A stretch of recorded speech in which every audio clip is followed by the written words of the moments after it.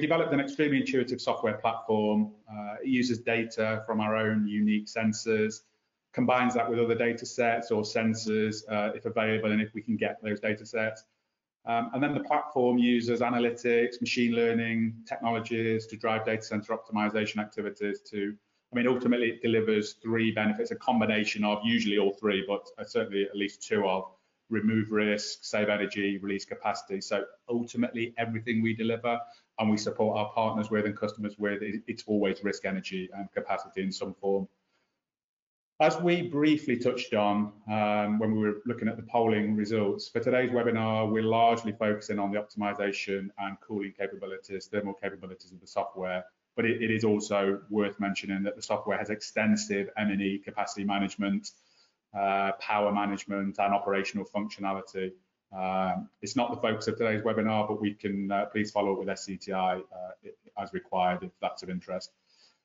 Um, so focusing on the optimization and cooling elements of the software, it, it was interesting to see those polling results. And, and, as I say, just tie up very nicely with uh, the demonstration we're about to show you. But we can also help with some of the, uh, the, the, slightly lesser important and the polling results. Um, I'm probably preaching to the converted on this webinar, but our software helps address very well documented uh, challenges in the data center, thermal risk, energy consumption, capacity management, and from the uh, analysis and data across hundreds and hundreds of engagements that, uh, that, that, we've worked on, we typically see that there's a, a huge overprovision of cooling. So Arnold mentioned this in his slides. Uh, we, we typically see average cooling utilization, despite most cooling, all cooling units being on and, and, and working uh, flat out or, or, switched on. We typically see cooling utilization at around about 38%.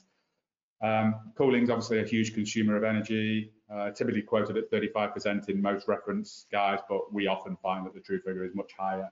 And interesting again, just in terms of risk, there is always at least one or two areas of very, very high risk that we see when we look at all the data.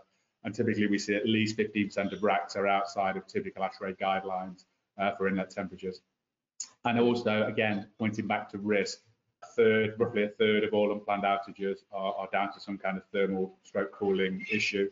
These challenges that are typically the main drivers for engaging with EkkoSense, in addition to some other slightly less tangible benefits, such as uh, corporate carbon reduction initiatives, simplified capacity management, and, and certainly in these times, uh, so never, never great to, uh, to, to provide a service in these times, but the remote visibility in, in a COVID world, we've seen a lot of engagement where customers have been unable to or, or, partners have been unable to get access to sites, or they just need additional remote visibility. So that also drives quite a bit of engagement at the moment.